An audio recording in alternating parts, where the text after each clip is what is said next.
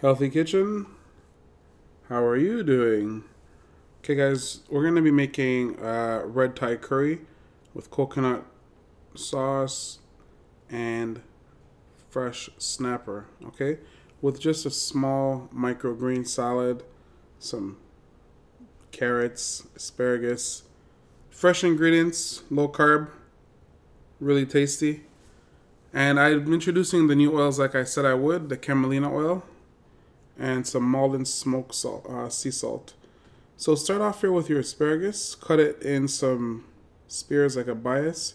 You can also peel the asparagus. Make sure um, you follow the same procedure again and cut it on a long bias. Now we're gonna use our carrots here. They're already peeled, but I'm gonna shave off a bit more just for the micro green salad later on. And what you want to do basically is just mix it all in, the red or purple, white and orange, and just put in some cold water, and then just stick that right in the fridge. And use the remaining carrots and just cut them on a long bias. Okay, so like a long sliver kind of thing there. Just, you know what? Dicing up the carrots is kind of boring. I just want to give the carrots some different texture. And with our pumpkin here, just give it a, um, a peel. You could use a potato peeler if you like, but I just use my knife. Um, slice it up.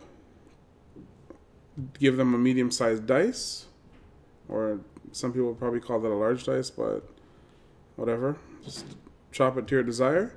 Make sure they're all uniform. And we're just going to move on to some parsley and give that a quick chop. Um, divide it in two. Some will be for garnish as we cook, and I'll show you what I mean.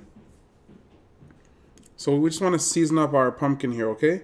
Just throw some of that chopped up parsley over it, a bit of that camelina oil, some chopped sliced garlic, and hit it with some smoked Maldon salt and a scotch bonnet pepper.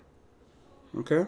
What I did here was I just gave a couple tablespoons of red Thai curry on top and moved on to my salmon or my snapper. Okay, with the snapper, you just want to slice it all up on the bias on both sides before putting them back together and then seasoning them up. So once again, the camelina oil. If you're not, um, if this is a new product for you, check it out. It's very good for uh, cooking. Uh, salt and pepper once again. And what I did here was I added some lemon juice just to, you know, give it a little pop and a little bit of curry spice. Okay. I added some more camelina oil to my pan, sauteed off the pumpkin on medium high heat. Make sure you use a wooden spoon whenever you're sauteing. Please don't scrape metal with metal. And then add in a bit of the tomato sauce that I had there. You could use your favorite brand or homemade if you'd like. Give that a quick saute around.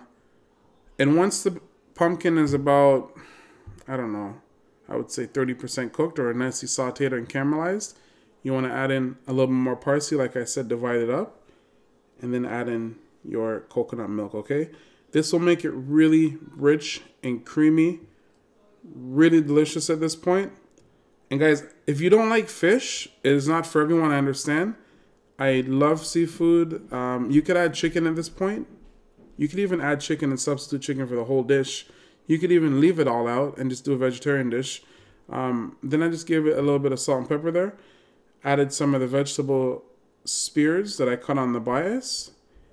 Only half of it I use, and the other half, what I did here was I sauteed it with a little bit of camelina oil, um, kosher salt, cracked black pepper, basil, gave that a quick toss up.